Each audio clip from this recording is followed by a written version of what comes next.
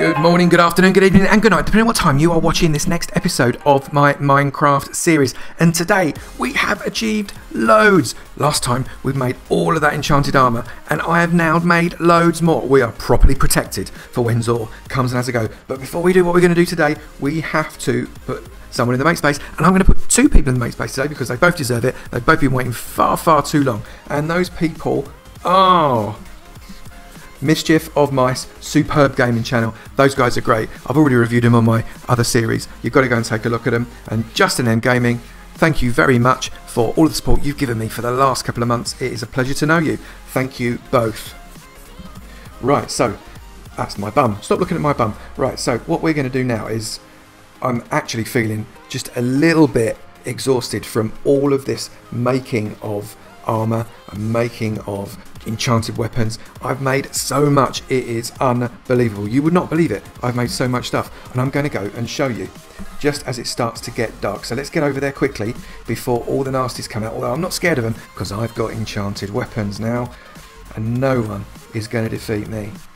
Whoop, Scepter can't get out the door. Apparently the door is going to defeat me. So let's just get my little doobie flip up. There we go. So we are now running. I'm going to put my sword in my hand. As you know, I'm going to put my enchanted shooty arrow thing in my hand. It's called a bow, Avo. Congratulations on remembering that small three-letter word. Let's get ourselves over to where I've got all the enchanted stuff. It's very exciting. Don't fall down the hole because you can't get out.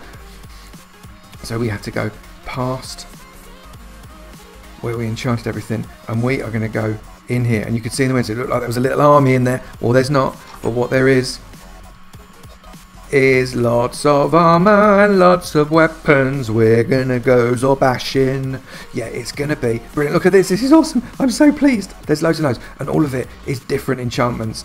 So I can kind of select what it is I want to go and hit people with, whether I'm going hitting mobs or whether I'm hitting Zor himself. It is going to be awesome.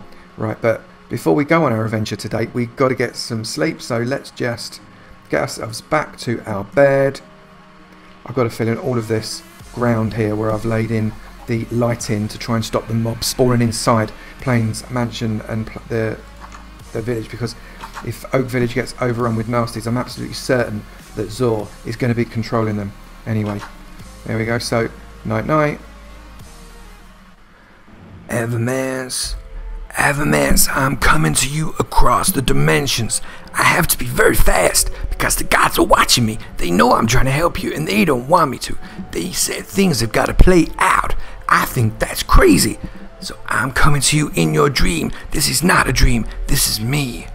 I'm gonna tell you the first things you gotta find to help you defeat Zora. The first things are gonna be easy, but they're gonna get harder as you go along.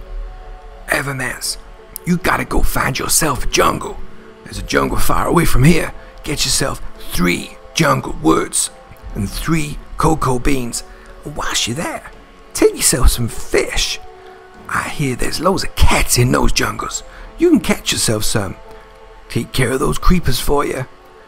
Remember this, Avomance. Remember, go get yourself jungle wood. Jungle is where to go. I'll see you again in another dream. Goodbye, Avomance. Rest well, son. Oh, that was really, really very, very odd. I'm sure I saw the hermit and he told me it wasn't a dream, you know, with the magic that he had the other day.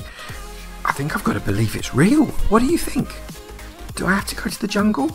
I don't know where there's a jungle. There's no jungle anywhere near here. That could be a really, really long journey. But you know what? I think I'm going to have to do it. It's time. It's time to pack a bag and get going for the jungle. I'll see you when I've got everything I need.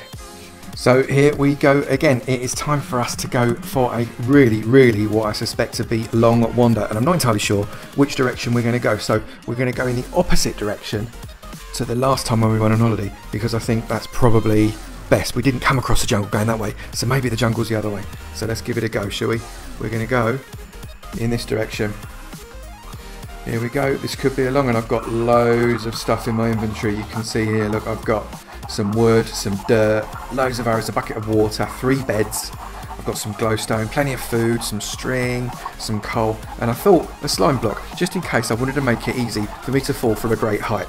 and it's really normally the way that I die, falling from a great height, so maybe I can stop that. So here we go.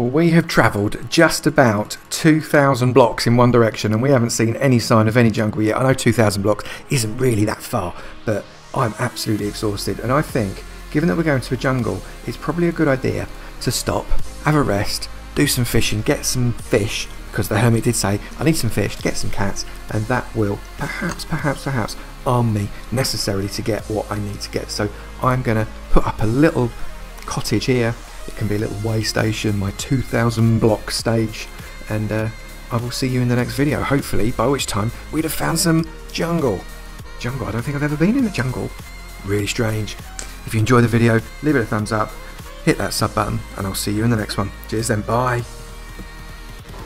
Is we have got four chicken spawners. One, two, three, four. And they are in basically a compartment that is one block high and is full of water. But if we put that there, the water gets blocked off by the sticky pistons pushing these iron blocks out of the way.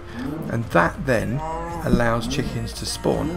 And once the chickens have spawned, you can see I've already started to spawn there. If the water then flows along again, that pushes the chickens under those blocks and sticky pistons there. So then, what will happen, if I activate those, they push the chickens under the water, the chickens drown,